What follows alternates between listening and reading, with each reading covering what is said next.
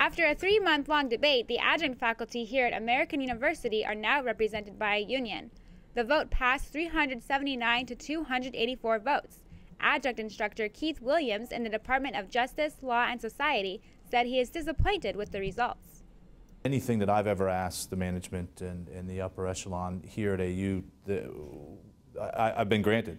And I don't see the value of, of paying $30 or so a paycheck um, or so to, to have somebody defend me. I, I, I have the, the right to speak to the management whenever I need to.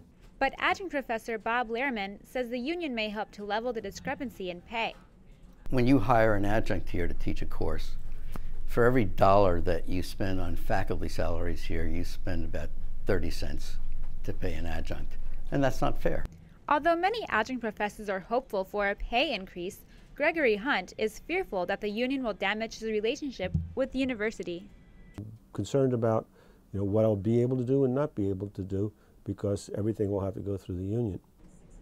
The Student Worker Alliance is a student run group that advocates for campus employee rights.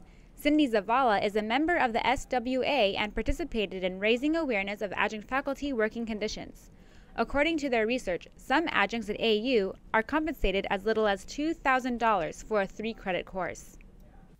Um, I really worked hard because I was passionate when I saw that a lot of my professors were adjunct professors and that they were struggling so much to um, fit economic means. And they told me about their personal stories at home. And so I was really happy that they mobilized and that we were able to help them with letter deliveries, with campaigning, and that through this democratic process of elections, they were able to um, get the union.